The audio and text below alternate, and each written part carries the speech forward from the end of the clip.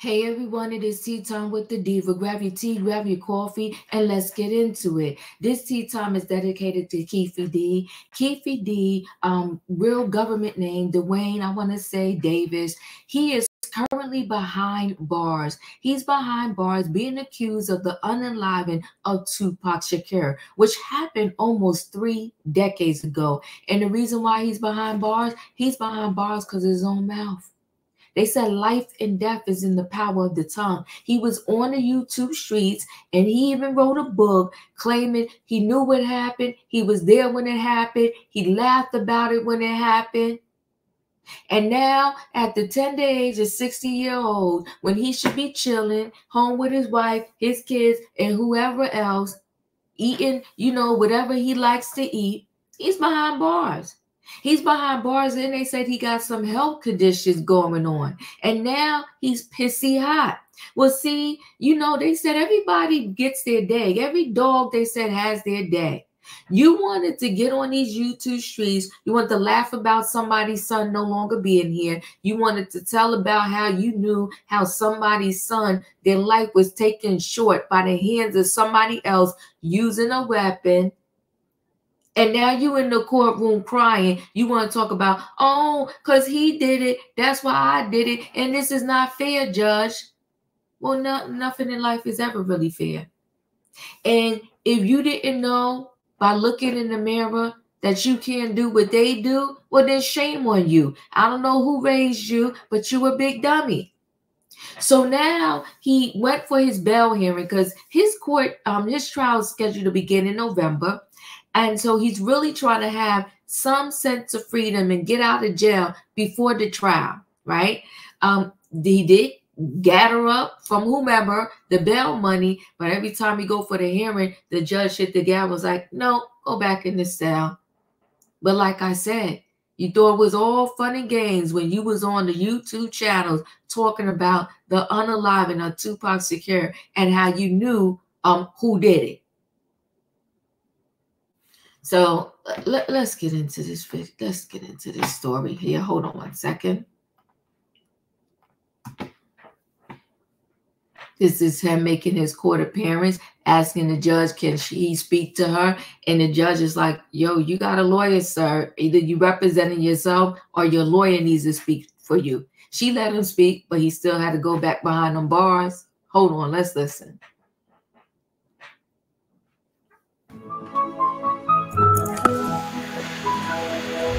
Sorry about the commercial. I always cue it up and then it goes back.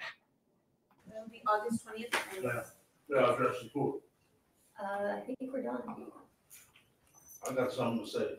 You wanna say it to Mr. Arnold, and he can say, if he, he represents you, so ultimately, if you represent yourself, you can talk at will, but if Mr. somebody Mr. uh, represents you- Greg Kading had them pockets at his house for fifteen years in his attic, doing all kind of TV interviews. That the boxes should not be allowed in a, uh, case, just gonna talk about it.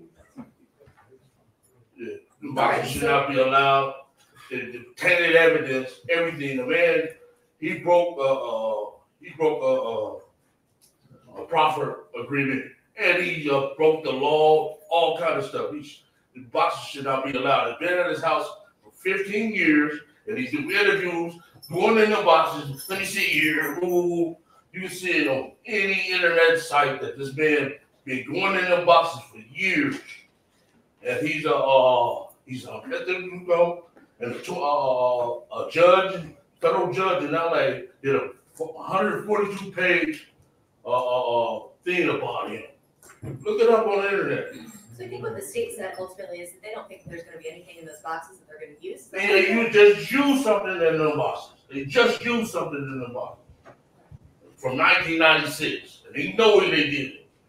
Yeah, no, it's certainly, You- we, you- certainly we are. They're not only ugly on, on the outside, but they're ugly on the inside. They, they, they crashing my family in this. They did my daughter first. They did my son. Then they just did my wife the last year. The uh, what's the name? Me about these. David Westbrook talking about these dudes. He said they're not only only ugly on the outside, but they ugly on the inside too. These two dudes right here. All right. Um, at this point, there's nothing before me to exclude any sort of evidence. There's been no motion filed about the proffer. I, I don't know if the Arnold plans on challenging that or not. Um, ultimately, that decision is up to him. So we'll see you guys back on that thirty day date. That was August twentieth that I knew. All right, well- At that time, we need to know if we're gonna go on the third. Thank you, Your Honor. Thank you. Oh, oh. Shane Cloud is over. He mad. He's piping hot mad. And and and the thing is though, you know, this is this is the life you you chose. And you talking about ugly on the inside and out. You don't think it was ugly that you did 99 interviews, uh, wrote a book about the unaliving of somebody else's child, brother, friend, cousin. The self-confessed gangster charged with Tupac's murder was seen in footage from the courtroom having to be calmed down by his lawyer. Furious self-confessed gangster Keefe D raged at prosecutors and a former um, Los Angeles detective during his intense bail um, bond hearing on Tuesday. Keefe D looked downcast as Judge Carly decided she would consider whether he could be freed after a 45-minute hearing in courtroom 12B at the Las Vegas Judicial Court. The one-time Compton crime boss Keefe had hoped to be released from jail to raise cash by filming a reality sh- um, show and discuss potential movie projects. His lawyer Carl Arnold argued that Keefe was legally allowed to make money from his reputation, given he was not convicted for Pac's death. However, prosecutors argued that Keefe's bail money was supplied by a friend who had deceived the court, and freeing him would be dangerous to the community. Last month, Carney, that's the judge, expressed concern about Keefe's real name, Dwayne Davis, earning money from the case and denied bail over uncertainty about the source of the bail bond supplied by rapper entertain, rap entertainer Cash Wack 100 Jones. Prosecutors called out Jones and Keefe in court, stating that the pair had misled the judge over Jones' motive for handing out a 112,500 bail bond. Keefe denied having um, struck any deal with Jones for TV projects and in a hearing with Jones, insisting that was not his business plan. But prosecutors referenced recorded jail. I don't care if it's a cell phone, a jail phone, your social media DM, it, it, it gets the people in trouble. You lied to the judge, but you was making the deals over a recorded jail phone. You have to be dumb, stupid, or both. With Keefe speaking to his wife Paula, discussed how Cash Jones had a Jewish partner from Paragon offering a TV deal. The state plays Jones telling Keefe he has spoken to a television bigwigs and that his priority is to get at least 10 episodes done before the defendant trial starts. Keefe D is just stupid. Getting heated, Keefe 61 stared at prosecutors, declaring they are not only ugly on the outside, but they are ugly on the inside. Keefe launched his tirade about these two dudes right here, referring to Chief Deputy District Attorneys and prosecutors Mark and um, Binu. Um, the the Tupac murder suspect also vented about evidence from its own confessions to police in Los Angeles being referenced in court papers over his trial. Keefe, whose lawyers described the Godfather Compton during a hearing, fired off against retired LAPD Task Force Officer Greg Kading. Kading was central to Keefe's tape confession of being responsible for Tupac's 1996 unaliving, which originally protected him from prosecution in a proffer deal. And that's what he was trying to talk to the judge about um, during this hearing. The two and a half hour tape, which the U.S. Sun has played several extracts from um, the last from in the last six months, has been submitted into evidence by prosecutors in the case. At Tuesday's hearing, um, I'm, I'm gonna say um, DiGiacomo referenced a box with substantial evidence from LAPD's 2008 Biggie Small Kane Task Probe being assessed for potential use as evidence in Keefe's prosecution. That revelation prompted prompted Keefe to address Judge Carly directly about his feelings on the case and Kading, who has written um, a book and given interviews detailing how Keefe was the shot caller for the assassination. Keefe revelation prompted um that revelation prompted Keefe to address the judge. I called, I read that. Keefe ignoring um, Carly's request to address the court through his lawyer. Carly Arnold said Greg Kading had them boxes. Um, Carly said Greg Kading had them boxes in his house for 15 years in his attic, doing all kind of TV interviews. That's what Keefe said. The boxes should not be allowed. It is tainted evidence. The man broke a proffer agreement. Standing Keefe did make allegations against Kading, and he broke the law. All kinds of stuff. A federal judge in LA did a 142 page thing about it. Look it up on the internet. That's what he's telling the judge. He's saying he's telling the judge, do your due diligence. The self-confessed drug dealer did act it out, Kading pack, um, picking out files from boxes and accusing him of passing details on any internet site. The judge calmly explained to Keefe that it was uncertain which aspects of the Kading evidence would be used by the state that enraged the suspect dressed in blue CCDC overalls who raised his voice, firing back. They just used something in those boxes for 1996. They know they did.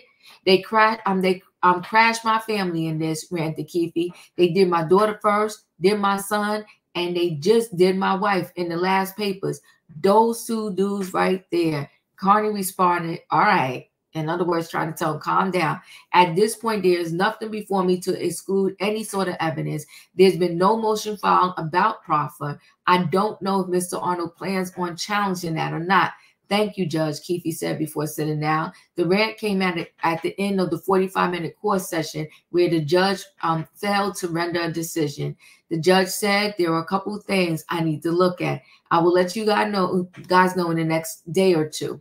Keefe, who denies charges despite making multiple confessions for being the um, kill shot caller, faces life imprisonment if convicted of the murder of Tupac on September 7, 1996.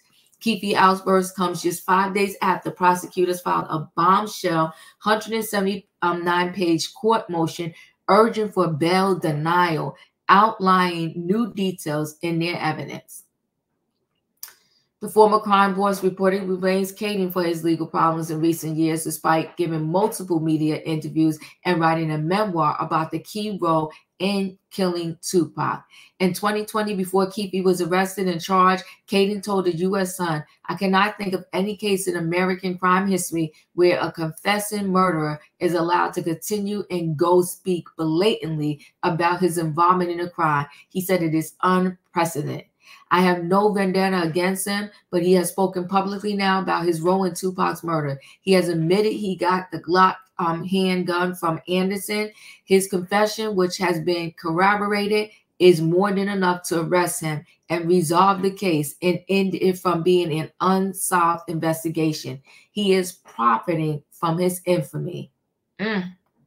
He did do that. Since his summer 20, 23 arrests, prosecutors have pushed for Keefe to remain behind bars before his trial, suggesting he remains a danger to the community and alleged he discussed having a potential witness unalive. The state describes Keefe as having a reputation as a brutal gang leader, prior record, the nature of his offense, and the danger represented to the community as reasons for issuing a detention order. The one time drug kingpin of Compton even worked with LA officers to set up an undercover drug deal in a bid to implicate hip hop mogul Diddy and the rappers unaliving, damning court filings alleged. The court motion presented testimony. Keefe worked undercover with special LAPD task force initially set up to investigate the murder of Biggie Smalls after volunteering information about his role in Pac's fatal shooting. His um, role as an informant was so significant that he flew to New York in an attempt to um, implicate others in a Tupac um, unaliving. During a recorded interview with officers, David had alleged that Diddy, real name Sean Combs, offered him a million dollars to unalive Tupac. Diddy has always denied any involvement in the unaliving. The prosecutors wrote that Keefe became an active confidential informant for the task force, alleging he flew with officers to New York to cor corroborate the conspiracy to commit Tupac's unaliving in 2009. It explains that detectives believe they had jurisdiction to investigate a Nevada homicide because defendant Keefe asserted that the conspiracy to commit the murder began in California between defendant Eric Zip Martin and Sean Combs. Diddy has spent three decades refuting links to Tupac's unaliving, appears to be further implicated in the court papers when prosecutors summarize one of Keefe's other interviews in state. Ooh. Sean Combs reaches out to the defendant, wondering if Southside Crips were responsible for Shakur's death by asking, Is that us? Defendant beaming with pride answers yes. Ooh, that is the judge over the case. She got a job ahead of her. Okay.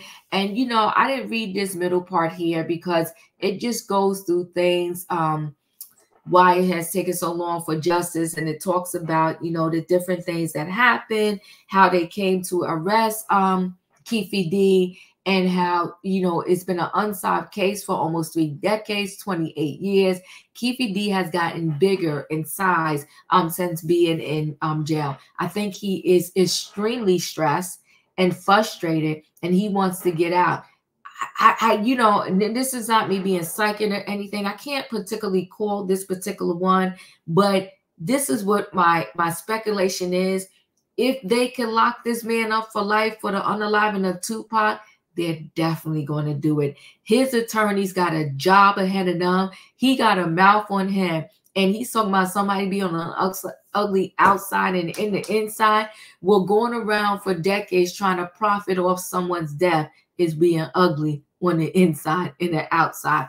Listen, guys, chat with me in the comments. And when I get an opportunity, I will chat back. If you're not a subscriber, subscribe. Hit the notification bell so that every time I upload a video, you will be notified. If you are a subscriber, welcome back. Everybody, thanks for watching. Don't forget, hit the like button, guys. And I'll see you on the next video.